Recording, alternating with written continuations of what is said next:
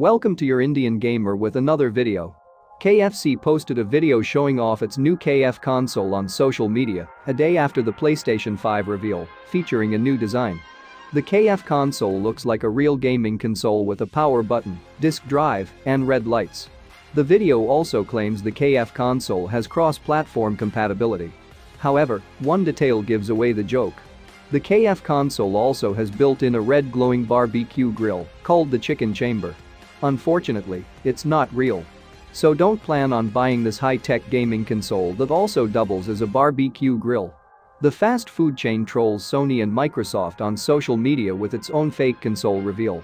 The KFConsole video has a release date of November 12, so here's hoping KFC has a follow-up joke planned. The console is just a clever joke.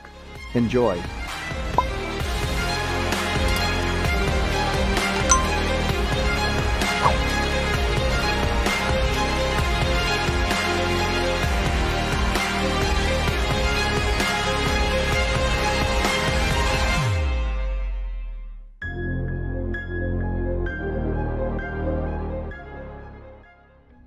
If you enjoyed the video please hit the like button and subscribe to my channel and also press the notification bell so that whenever I upload the new video you get the notification.